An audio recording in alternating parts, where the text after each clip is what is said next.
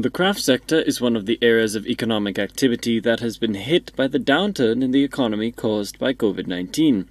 Alicia Peter Prescott, a native of Savon George Choiseul, has been an artisan since childhood. She says this would have been the period of high demand for craft, but unsurprisingly, COVID 19 has negatively affected her livelihood. COVID has really affected me because I had lots of orders to be ready by now, and um, because of COVID, most of my orders had been cancelled.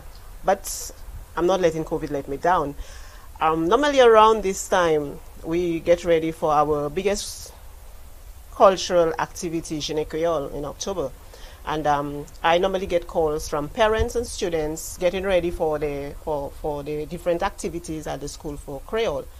And um, with COVID, all of all of act- all of the activities that have been cancelled, I don't see much happening for the Creole Festival this year. So um, COVID has really affected me and put me on the backlash. Peter Prescott believes the craft industry is slowly dwindling. She thinks measures should be taken to ensure the industry isn't extinguished.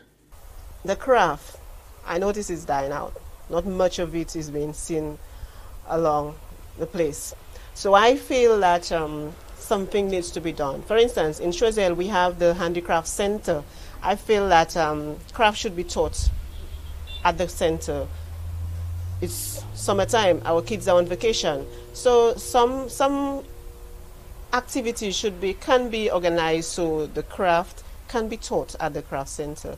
I do not, I'm not able to do all of the craft. There are some baskets I would love to be able to do. For instance, this basket in my hand, it's not my making, but I love it and I'm getting orders for it. So if it is being taught, I will be happy, and I guess other persons will be happy to send their kids, and even adults too will send will be present and learn to do something and carry on with the craft and to keep the craft alive. The artisan made a plea to Bradley Felix, the parliamentary representative for her constituency, to help stabilize the arts and craft sector. She holds aspirations of local craft becoming more available around the island. I would love to see um, our craft being sold all over the island and um, more of made in St. Lucia rather than made in, made in China.